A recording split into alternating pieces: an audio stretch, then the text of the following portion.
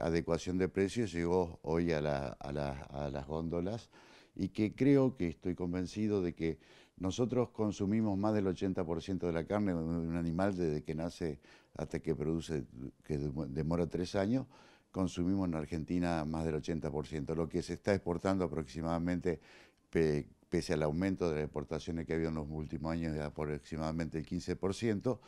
y hay algo que es muy real, es decir, no puede aumentar cuando la economía y la sociedad no tienen los recursos necesarios para poder adquirirlo, bueno, hace solamente de la nivelación de ese precio. Es decir, que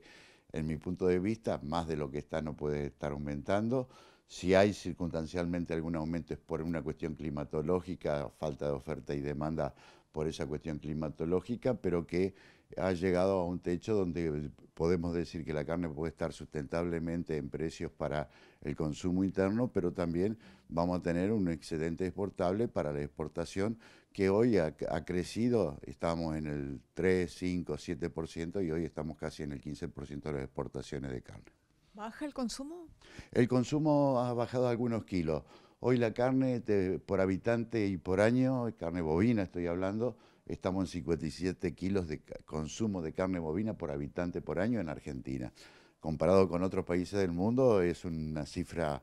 importante, es decir, yo, una de las cifras que mayor este porcentaje tiene, pero como respecto al pasado ha disminuido el consumo, este, pese justamente porque estaba a un nivel adquisitivo